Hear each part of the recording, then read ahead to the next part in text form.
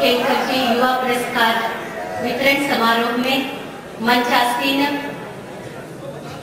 माननीय राष्ट्रीय अध्यक्ष जी, राष्ट्रीय महामंत्री जी, श्री विष्णु दत्त शर्मा जी, इस कार्यक्रम के माननीय मुख्य अतिथि जी, श्रीमान बाल आप्ते जी, कार्यक्रम के अध्यक्ष श्री संजय मदान जी, मुख्य वक्ता श्री बिहारी लाल जी, चयन समिति के सदस्य श्रीमान दिनेश कुमार जी प्रदेश अध्यक्ष श्री देवदत्त शर्मा जी प्रदेश मंत्री श्री नवीन शर्मा जी सभी का हार्दिक स्वागत करते हुए मैं वंदन करती हूँ एवं इस पंडाल में उपस्थित हमारे मार्गदर्शक बंधु भगनियों का मैं वंदन करती हूँ एवं प्रणाम करती हूँ उपस्थित सभी युवा शक्ति का जो इस राष्ट्रीय अधिवेशन में नए उत्साह लेकर नए उमंग लेकर अपने अपने क्षेत्र में जाकर एक अलग करंट आप लोग प्रवाहित जो करने जा रहे हैं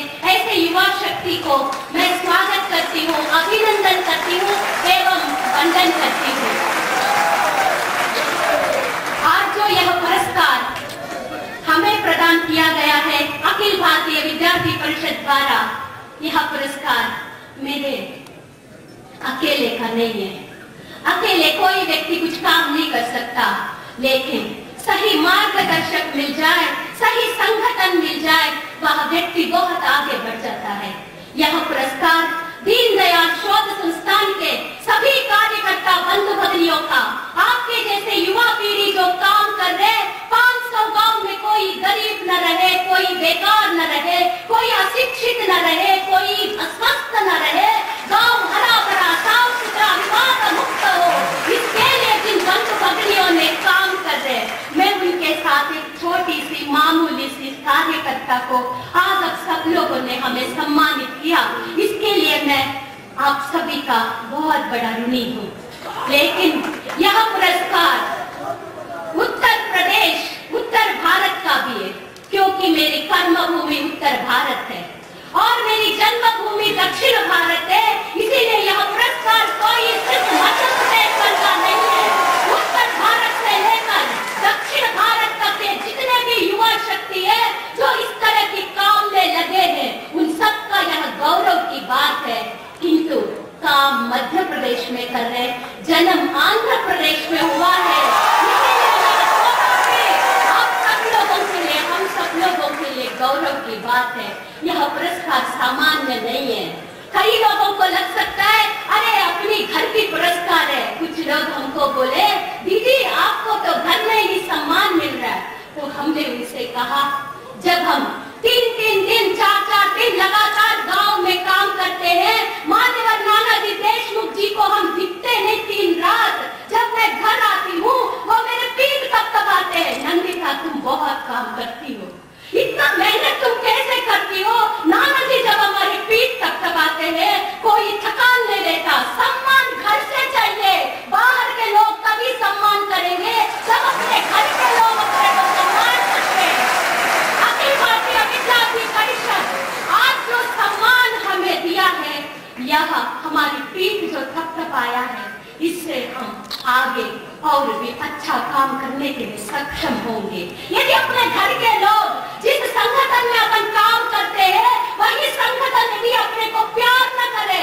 मोहब्बत न करे, अपने को कोई पहचान न दिए, फिर उस कार्यकर्ता को आगे बढ़ने की ज़रूरत नहीं है। इसीलिए आज हम बहुत गौरव महसूस करते हैं।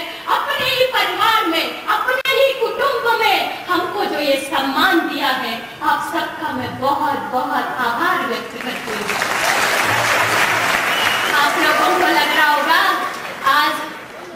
का क्या क्या हो रहा है। सम्मान मिल रहा है।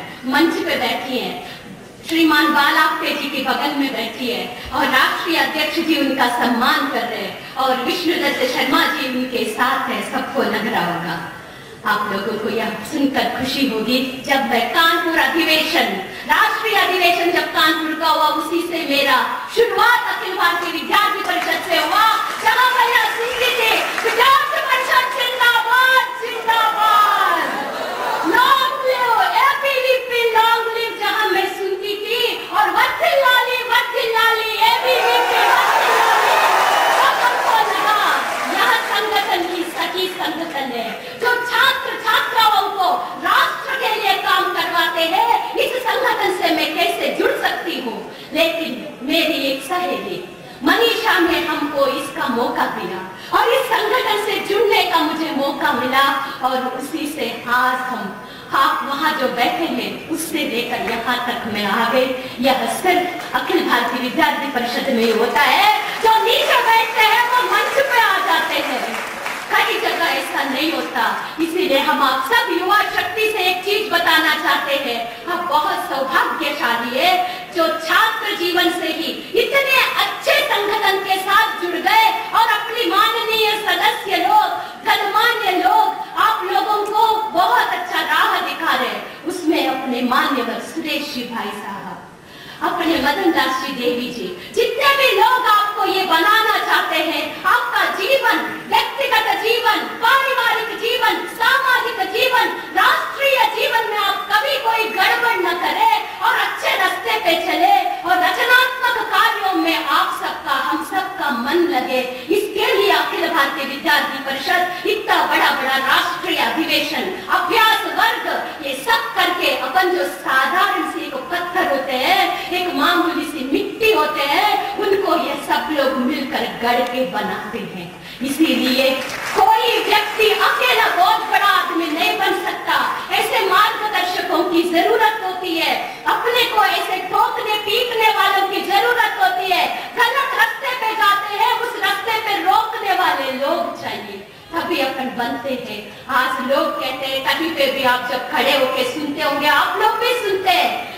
लोग कहते हैं, युवा गड़बड़ जा रहा है। सब दारू पीते हैं सिगरेट पीते हैं गड़बड़ काम करते हैं, नक्सलवादी बन रहे हैं, आतंकवादी बन रहे लोग कहते हैं। पर इसी युवा शक्ति को देखने के बाद वो कहने वाले लोगों को डर लगेगा।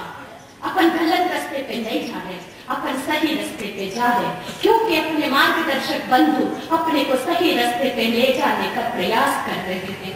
इसीलिए आप सब बंधु भगिनी, प्यारे भाई बहनों से एक ही निवेदन है, अपन कभी गलत नहीं करना है वैसे तो लोग दस दस पचास पचास रुपए खर्च करते हैं पर सदस्यता करने जब अपन जाते तो लोग दो रुपए नहीं देते लेकिन हम लोगों ने ठाना और उस काम को किया इसीलिए जब अपन अखिल भारतीय विद्यार्थी परिषद की सदस्यता स्वीकार करते हैं, कोई गलत काम अपने को नहीं करना है। नहीं तो मंचासीन अतिथियों का भी नाक कट जाता है। लोग ये नहीं कहेंगे, फलाने विवेक ने किया, फलाने विनोद ने किया, कोई ने किया, कोई लड़की ने किया, नहीं बोलते। कहते अखिल भारतीय विद्यार्थी परिषद के कार्यकर्ता बंधु भगिनियों ने गलत काम किया पर अपने को करना है जहाँ गलत होता है उसका विरोध अपने को करना है पर हर जगह अपने को गलत काम नहीं करना है। इस तरह यदि अपन आगे बढ़ेंगे, जो राष्ट्र को अगर सम्मान देना चाहते हैं, वो मिल